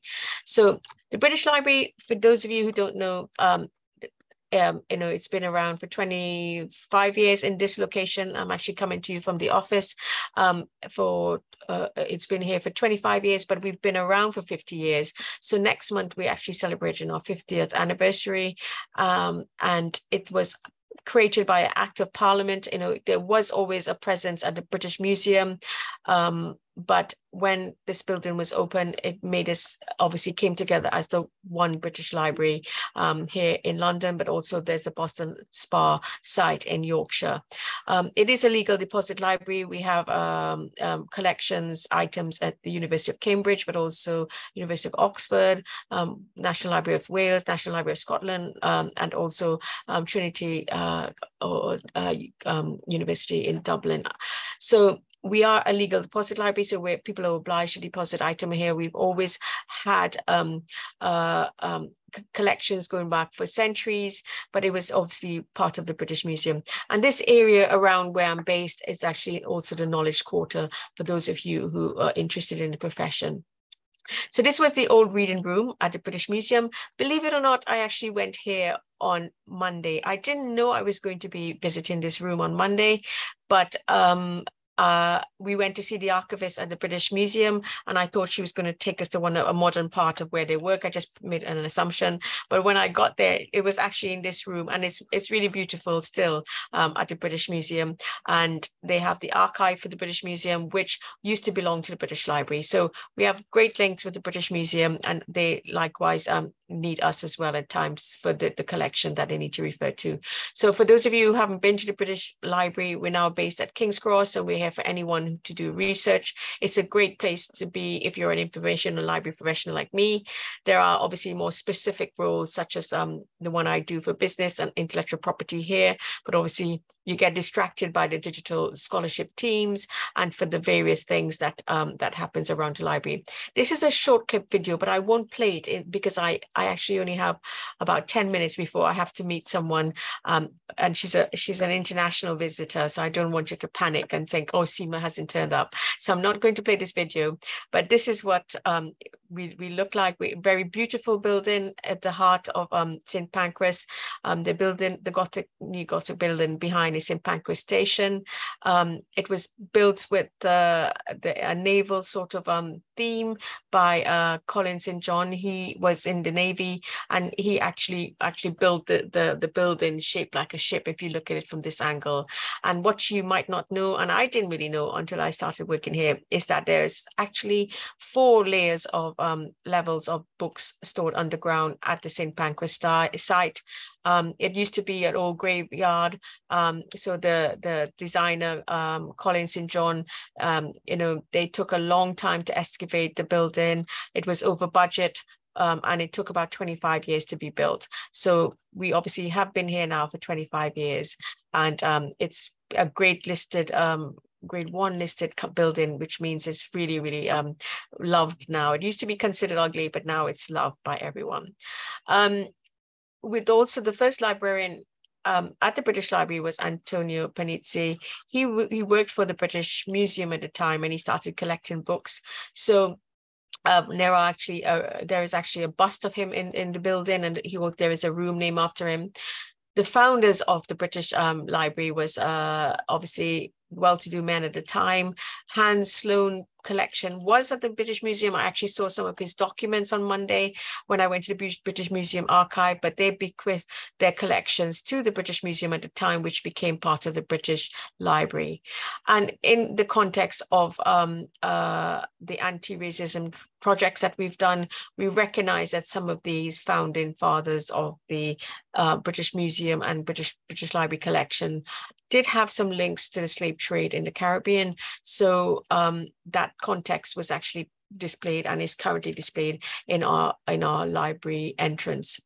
So yes, the library is still great for anyone who wants to do research from creative research to curiosity to sound to to um, uh, to maps to various format, and it's still a great place for everyone to to actually um, uh, to engage with the collection. Uh, this is our picture of our chief executive, Roly, so, and he says libraries are values for global collaboration. Our values are, are really important if you're going into the profession. We're custodians where we do research, we do business, we do culture culture, we do learning, and we're international in perspective. There's actually a, a international leaders program that's happening as well this summer, and it happened as well last summer, and it's managed by the international team. Um, we also have the Living Knowledge Network that happens across the UK, um, collaborating with various public libraries and other libraries, even universities um, across the UK. So it's very interesting to actually work in this joint up way across the UK. And also, we also need to think about libraries as space. Um, during the pandemic, we all pivot to online, um, but we also want to see people back in our spaces because you know even the business and ip center which is the middle photograph we have licenses that are bound for people to come in and use the collection only in the center. The collection works as an archive as well so we don't we're not a lending library. Of course we have the document supply center which is a lending library based in yorkshire but you know we we need people to come into these spaces and to use the space and to be inspired um, and to have those meetings and you know talk to each other and learn from each other as well in physical spaces. Um, we have great events late events and, and and and cultural events as well as well as talk in our conference center. The exhibitions has been great. It's one of my favorite things and one of the privileges of being here at the british library from women to buddhism to shakespeare to west africa to the mughal as i said really made me understand that aspect of culture to propaganda, to um, I think the most recent one of relating to information professional skills itself was news and newspaper um, exhibition. The King's Library sits in the middle of the British Library. It it used the space was actually built for a card catalogue um, in in the late 80s and early noughties, but then by that time we had digital catalog. So the space was actually used for the King's Library, which was um, be, um, given by King George III to the, um, it belonged to him, but his son made um, gave it to the government at the time to to to look after it um, and that used to be at the British Museum I understood um, this Monday and now that collection, the, the, King's Library sits at the heart of the British Library if you were to come into the physical space. We also have the Treasures Gallery, which has things as the Magna Carta, it has lyrics by the Beatles, it had a Da Vinci, a Leonardo da Vinci um, um, materials. It has Shakespeare folios. It has sacred books. Um, it has the Lindisfarne Gospel. Really, really um, special materials that are held in our Treasures Gallery. The Treasures Gallery is free to attend to as long as it's um you, you, if you want to visit it, you have to just make sure it's actually open to the public on the day that you intend to visit, because sometimes they might close it for some reason or the other. But it's all of these items are free to view in the Treasures Gallery, and you can see it without a, um, a pass. We also have free exhibition space. I think currently there's an exhibition on, oh, I can't remember, but over the years there's been uh, sound, there's been uh, Gay UK, uh, there's been uh, uh, exhibitions on cat. I think, yes, I think there's an actually an exhibition on digital storytelling at present. I think it might be chargeable, but obviously there are multiple exhibitions happening at the British Library. We also have the philatelic um, philatelic uh, collection. I've never actually seen the curator, but obviously you can pull out these cards in the, the, the foyer and look at stamps and various sort of um, currencies from some of the uh, colonies that the British Empire um, actually had at the time. Um, and I hope to see the curator one day. We have interesting talks. I think the Knowledge Center is now open again. This is one of the talks on the James Cook um, voyages to, to Oceania. Um, you, you see some amazing things in the library. This was Myri Danson um, to, to sort of talking about hip hop. I think one of the most memorable ones I visited recently um, in the Knowledge Center here at the British Library was um, Vivienne Westwood, um, who died recently, the fashion designer. And we currently have a business and IP women's event in the Knowledge Center tonight. But as usual, I've double booked, triple booked, and I can't attend um, the event. Um, but obviously, to visit and use the research collection at the British Library if you're not using the interlibrary loans with Document Supply Center, you can get a reader's pass, which is free to obtain. You just need to prove your residence um, and, and where you live, and you get access to the collection. Um, and you, the reader registration team looks after that. If you can't come into the British Library, you can use the digital collections. Um, that more and more things are digitized, so you can look at our things that are available. There are specialist collections such as the EThOS, which is a PhD um, thesis um, portal and uh, where you can find out information. There's the Endangered Archive um, program. There's a sounds, um, I think there's a new sound since this slide. Um, so they're very specialist ones that you can check and see what we have. We do have the digital scholarship team that look on various things such as uh, collaborative projects. They look at uh, what's new and what's on the horizon. Um, we're currently going through a program of gaming, um, which is also going to be launched. They're the team that's actually putting on the digital storytelling exhibition. And yes, there's, there's actually a big article recently about gaming at the British Library. They've been doing gaming for a while using the collections, um, but also encouraging people to use it, um, the Sound Archive, to develop apps and different gaming um, tools. But the physical reading rooms are divided into subject areas. So we are a bit like a ship um, as intended by the, the designer. Um, on one side, you've got uh, ourselves, Business and IP Center, the newsroom and the social sciences. And on the other side of the ship, you have things like the rare books, um, uh, humanities and maps and other specialist um, subject areas. So we are siloed into different subject areas, but it's also great to specialize in these areas. As I mentioned, there is a location 200 miles away from London in Boston Spa.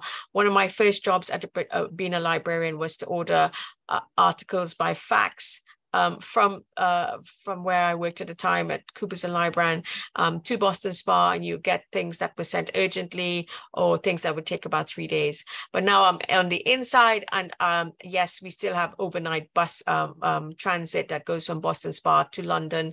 It's it's actually Boston Spa is in the middle of the country in Yorkshire, and they have some great teams there that um, work with us to, to make sure that we deliver services for the library as a whole the one thing about the British Library as well, you must think of it in terms of format. So we have maps, we have images, we have sound, we have stamps, and all of these sort of um, inform creativity. We also have patents, which is very important for my our collection here at the Business and IP Center.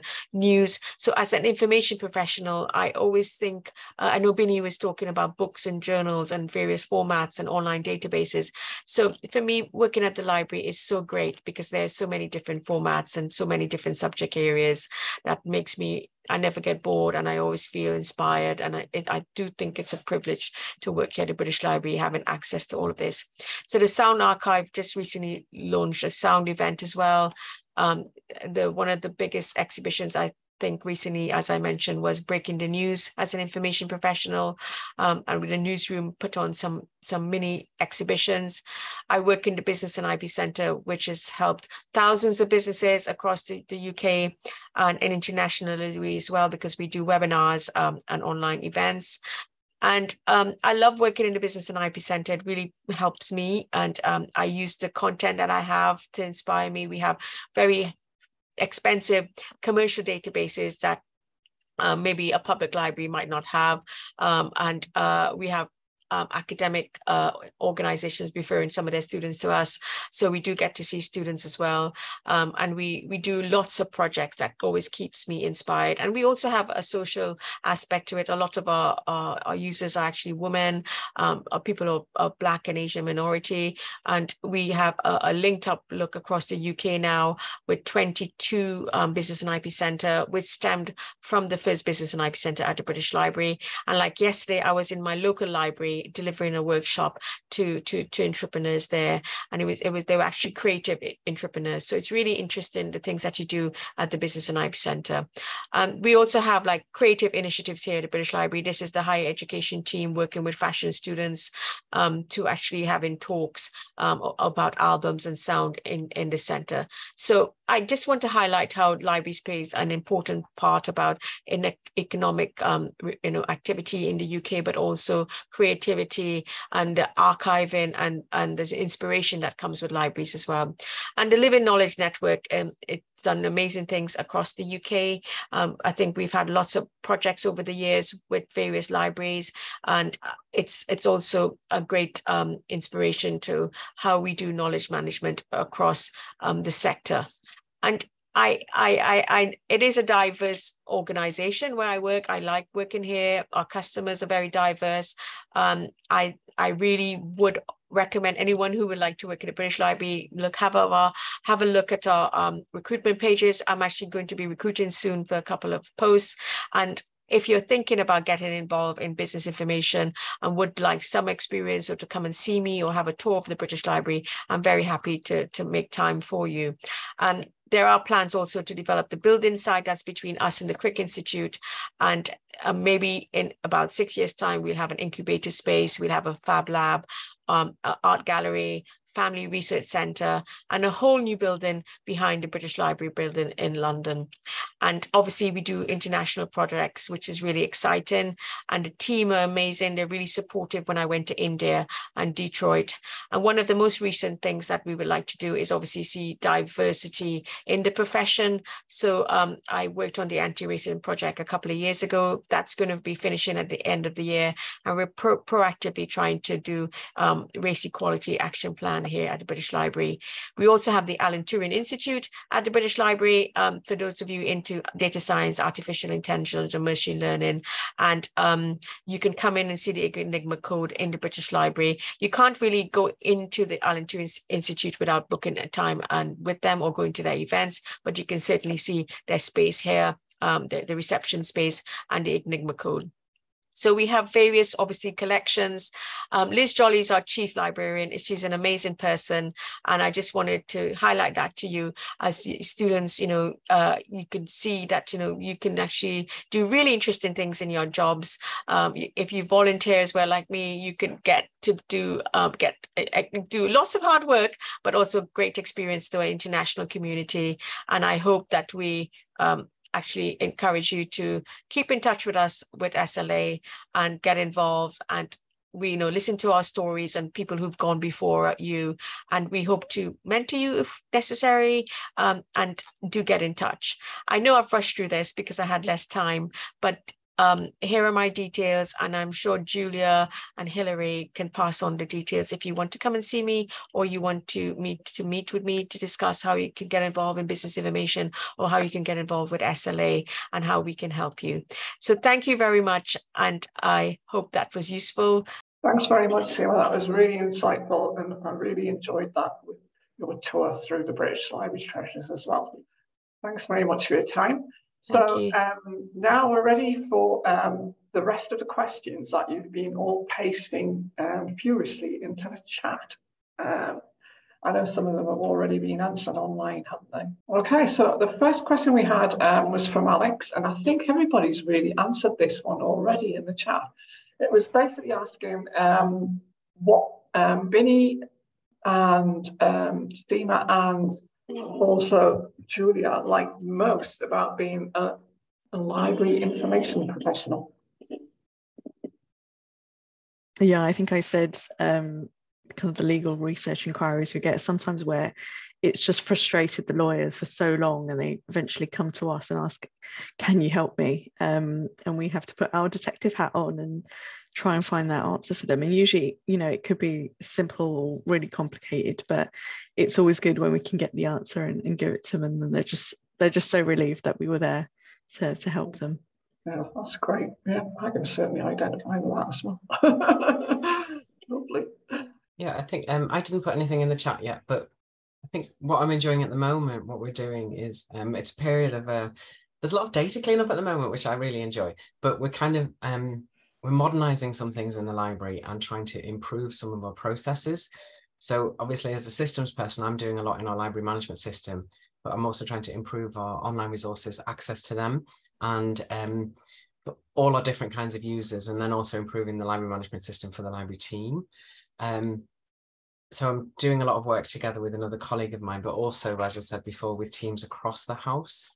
Um, so it it supports the work of the institute and um, it's it's a time where I can really see what I'm doing is doing that because sometimes I go to work and just work all day um, but it's nice to um, have a context for what I'm doing in the wider work of the institute so that's yeah. pretty good yeah that sounds absolutely excellent that's lovely um, so next question we've got one um, which was uh, posed to Binny asking um, about how um, you you mentioned that you relocated from the Wirral.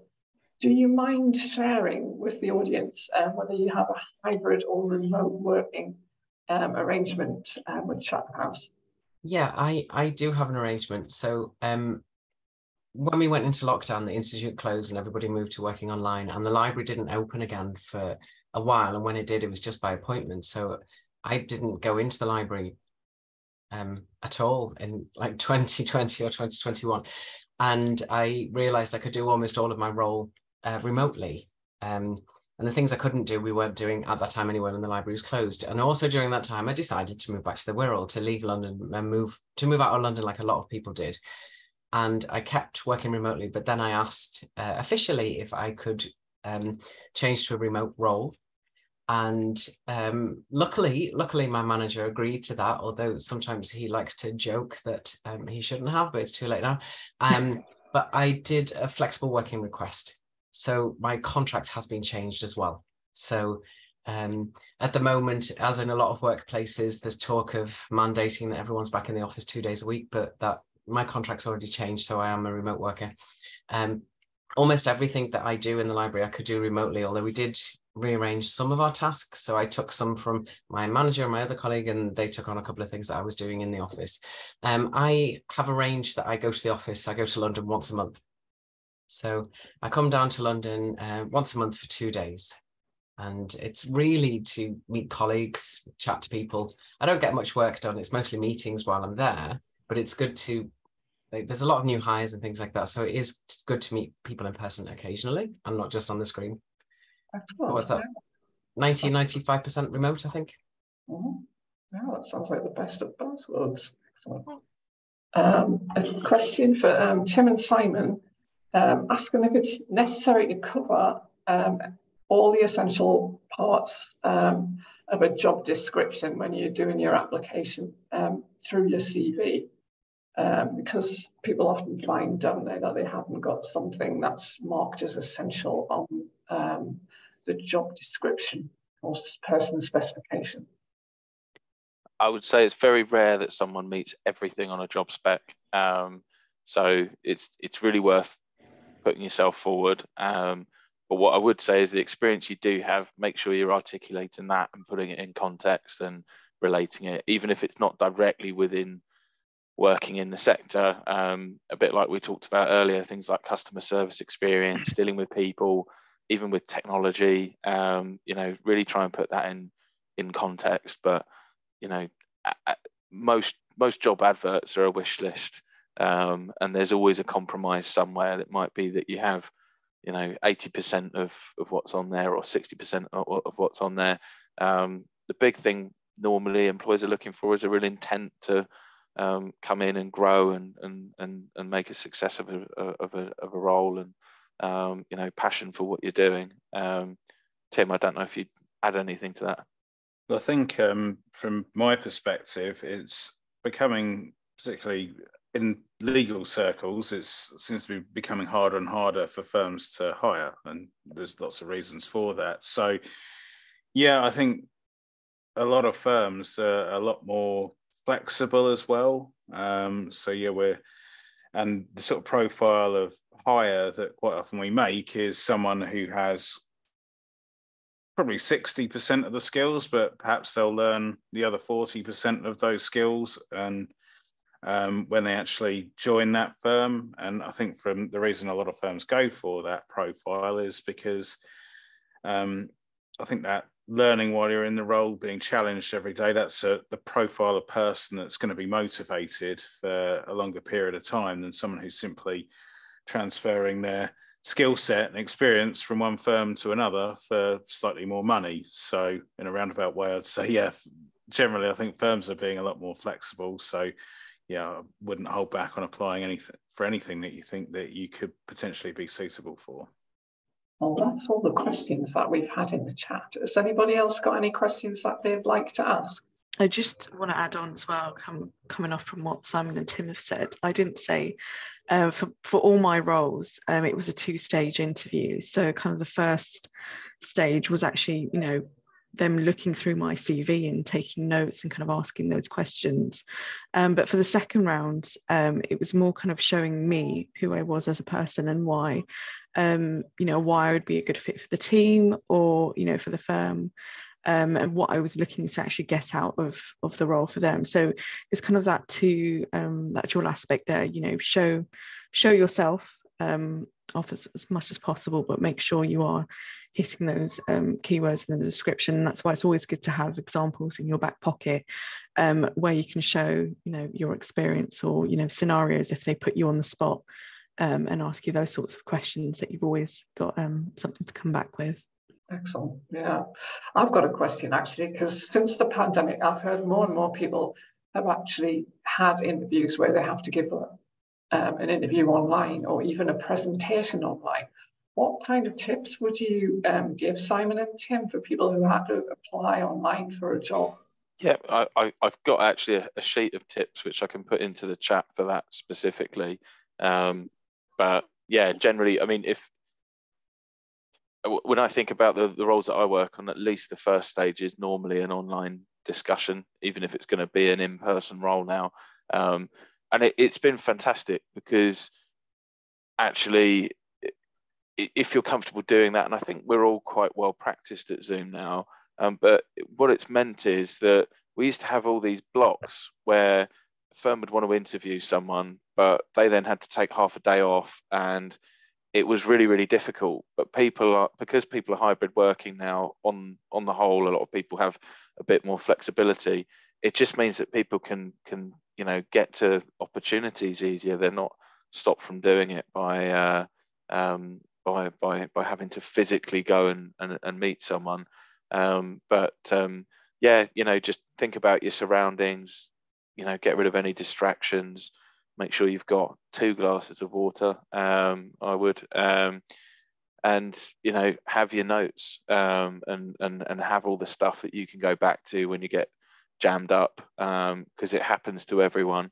especially when you get like the question that you weren't expecting or whatever. It's really good to have some stuff to go back to, um, and then also have your questions for them. So think about what you could ask them that shows that you've um, researched the company and um, shows that you've you know really shown an interest and in that you're interested in them if you are interested in them. Um, but um, yeah um, so so you know that's that's what I'd say on that. Tim I don't know if I've missed anything. Well I think a lot of people actually yeah um, prefer that virtual uh, an online uh, type first interview, and it typically is the first interview. Second interview tends to be in person now, but um, people like that because of the flexibility of it. Um, I think that people also like the fact that uh, when you're doing a virtual or online interview, perhaps the person who's interviewing you can't see that your laptop's absolutely plastered in post-it notes and notes that otherwise you might not have available to you in a face-to-face meeting. So uh, yeah, it works really well for for a lot of people. We get a lot of good feedback about it. But yeah, we're seeing increasingly uh, a lot of firms now are going back to to doing more and more sort of in-person interviews. Excellent. Uh, um, I've got a question for Binny as well, because the fact that you told us that you worked in uh, different countries made me think of some of our audience tonight that might actually want to do that. What kind of advice would you give to somebody if they were thinking of doing an information role in a different country? I well, I found that um, you know my I didn't have a problem getting a job in a different country just because it was a different country, but I do speak Swedish and English fluently. So I'd say maybe the language. Um, there are there make sure that if if you want to move somewhere and you don't speak the language either that you're going to learn or that they it could be an international workplace where people do speak English, for example. I mean, that might seem obvious, but um, not speaking the language of the country you're moving to isn't necessarily a barrier, depending on the job and the workplace. But being willing to learn is probably a good thing. Because um, in Sweden, there'll be lots of workplaces where they say, "Oh, business language language is English," but everybody will speak Swedish in the job anyway. Um, and I think uh, when it comes to libraries, that um, I had lots of colleagues who well, I had other colleagues who were also um, from other countries or who'd studied in other places, and that was always fine actually. Um, I think libraries are probably quite uh, good at recognizing degrees from other degrees and experience from other countries. I can see Simon's nodding there, but I think so. Yeah. Yeah, we, we work with lots and lots of international applicants all the time. Um, we get some fabulous people um, who have studied overseas or or we get actually a lot of people that that um, come here to study that, that have come from overseas and yeah absolutely there's a lot of recognition for that. And um, um, I, I, what I find actually is these groups are hugely valuable for people to come and sort of settle and start building a professional network. So you know I always suggest to people you know get along to the SLA party or or, or, you know go and go and meet some people at these sorts of things and it it really really helps. Um, but yeah absolutely I think probably the, the main issue would be things like work work and residence permits. So we recruited a new colleague last year, and Chatham House has a rule that you already have to have the right to live and work in the UK before you can apply for jobs. So that will be a hindrance for some applicants. But I know different jobs have different requirements, but that's we had we screened out some applicants because they they tick the box saying they weren't eligible to work. So there wasn't really any point applying, but some people do anyway. Yeah yeah that, that's definitely always a challenge it's actually seemed to get slightly easier for for for some nationalities over the past couple of years but um, it's definitely always a challenge yeah. And Julia, you're a rising star of SLA. Um, how's groups like SLA helped you in your career so far? It's definitely kind of opened up um, just meeting other people who I would have naturally met um, if I'd stayed um, kind of within my role or kind of within um, just talking to law librarians. Um, and I kind of kind of seeing that in my second role, I definitely did want to branch out because um, I was in a small team. I didn't feel as, you know, I still wanted to grow my my network and build those contacts. And I thought, you know, where else better than than SLA Europe? Because again, um, like Binny, I have um, dual nationality with Italy, so I, you know, it could have it could be my future at this point. But if I do want to kind of relocate to Italy, there's that option. Um, but yeah, I just wanted to sort of expand my own network and my own understanding of what um, what libraries were out there, even what special libraries were out there, um, kind of beyond the realm of um, law firms and, and, public libraries and kind of even historical libraries that, um, that I was aware of, because you know I don't feel I would have learned it as much if I hadn't um, kind of actually joined uh, these associations and said, you know, who are you? What do you do? Um, can I learn more about your your role? So it's been hugely kind of beneficial that way and actually connecting um, with those people just to learn learn more about what they do and you know how they started out, what their background was. Um, because yeah, I think the, the rule is that we're probably all accidental um, librarians, but how we get there and how we've actually made the role our own is always um, a great story to, to share with others as well. Yeah, indeed. Yeah, that's really nice. Thank you very much, everybody, um, for presenting um, tonight and all those for attending. I just want to do a final share um, of our slides. As we promised, um, we'll be sending you um, a copy of the slides and the recording um, of the event will go on to, excuse me, the SLA Europe YouTube page. If you're interested in finding out more about the kind of events um, that BIALL, CLSIG and SLA Europe are running, um, or you're thinking of joining one of those groups, feel free to visit the website addresses, which we have on the final slide, and follow all of them on Twitter and LinkedIn. And thank you very much for attending.